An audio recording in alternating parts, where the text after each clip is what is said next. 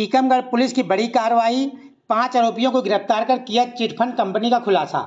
Tikamgarh police की बड़ी कार्रवाई, पाँच आरोपियों को गिरफ़्तार कर किया चिटफंड कंपनी का खुलासा, पकड़े गए आरोपियों से चार करोड़ ग्यारह लाख रुपए की संपत्ति बरामद, जिसमें खरीदी हुई ज़मीन, मकान व गाड़ी शामिल। फरार चल रहे आरोपियों की गिरफ्तारी पर पुलिस द्वारा किया गया था बीस बीस हज़ार रुपये का इनाम घोषित। कोतवाली पुलिस के प्रयास से करीब पंद्रह लाख रुपये लौटाए भी गए थे। छिहत्तर लाख रुपए की राशि बैंक खातों में सीज किए गए।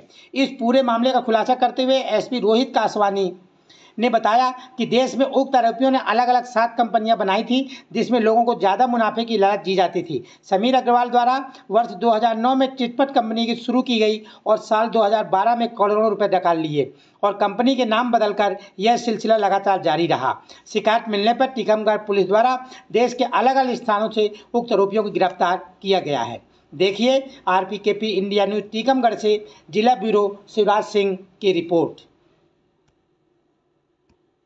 चिट फंड कंपनी चलती थी, जो लोगों से को जल्दी अमीर बनने के सपने दिखाती थी और उनसे पैसे जमा कराती थी। कई इसकी स्कीमें एफ़ डी आर डी और मंथली किस्त की स्कीमें चलती थी। तो इसमें आज हमारी टीम ने सराहनीय कार्य किया। इसकी हमें कुछ शिकायतें मिल रही थी कि इस कंपनी में पैसे जमा कराए हैं पर लोगों को ठगा है और लोगों के पैसे जो मेच्योरिटी के बाद वापस नहीं किए हैं।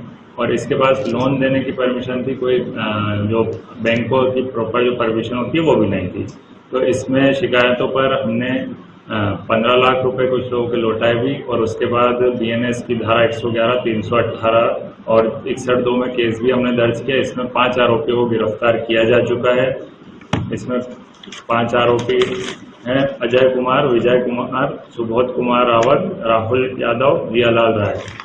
ये लोग अभी गिरफ़्तार हो चुके हैं और अन्य आरोपियों के लिए हमारी टीम लगी है। कुल छिहत्तर लाख रुपए जो हैं वो हमने सीज किए हैं इनके बैंक अकाउंटों में और तीन करोड़ उनचालीस लाख की चल अचल संपत्ति भी जब्त की है और इनको पेश किया जाएगा। न्यायालय और हमारी टीमें लगी है। अन्य आरोपियों की भी शीघ्र गिरफ्तारी का हम प्रयास करेंगे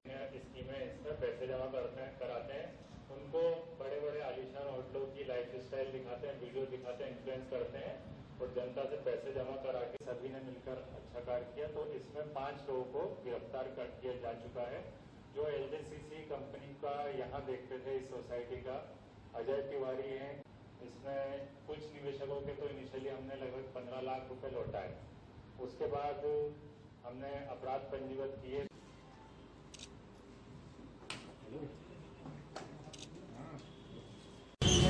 समझो यार